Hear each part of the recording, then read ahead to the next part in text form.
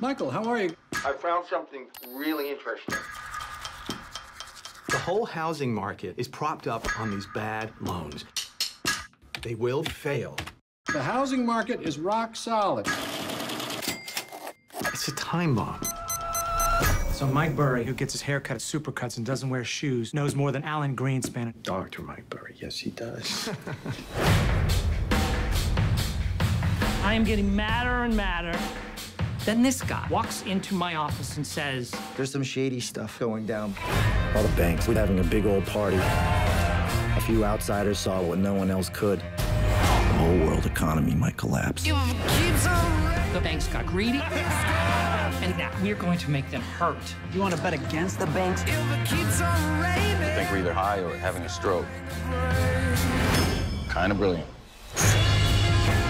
I'm sure the world's banks have more incentives than greed. You're wrong.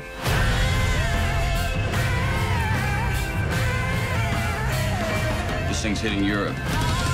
Greece and Iceland are finished. Spain is teetering. If you're wrong, you can lose it all. Okay, here we go.